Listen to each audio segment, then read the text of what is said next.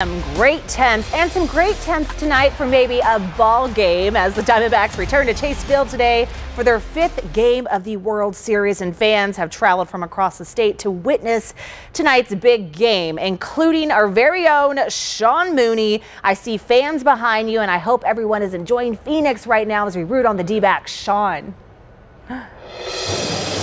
Monica, it is a beautiful night here in Phoenix. They have the roof open here at Chase.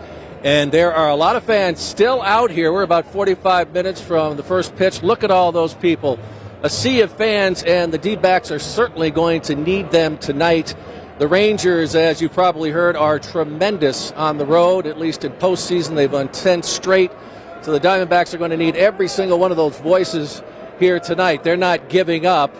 And uh, I know that Cristiana Ramos has been uh, out there today, been here all afternoon. I want to bring her in now because you've been milling around some of these fans. What is the, the feeling, the electricity that we see out here right now?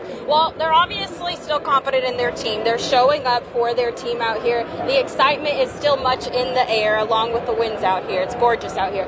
Uh, but what I did find out is ticket prices actually did go down. So I think there oh, are a boy. lot of so fans. There are a few who are giving up. That's not who good. Are giving up already. Yeah. yeah. So ticket prices have went down. Yesterday I checked StubHub and it was about seven hundred to eleven thousand dollars, depending on where you're sitting. Today, yeah. ticket prices are half that price. The seven hundred went from three hundred and sixty. Now, so many great stories out there. I know you talked to a lot of people, both D-back and Ranger fans, right? Mm, yes, Ranger fans.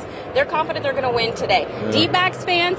They're pretty confident too. They really want to pull through, but regardless of a win or lose situation. We did talk to some fans who just really were excited to be a part of a World Series, getting to see, watch their team play in over 20 years. We talked to somebody, she said that she got married back in 2001. She uh-huh. missed the World Series, so she owes it to her husband. They're here today.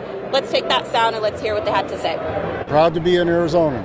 You know, we, we deserve it, we, we've earned it, and everybody that comes here will know about Phoenix from now on. Game one of the 2001 series was my wedding day. We missed the entire 2001 series, and for 22 years, my husband has said I owe him a World Series. I'm here to pay that off today. Wouldn't that be oh, a great wow. wedding present? Well, it would be.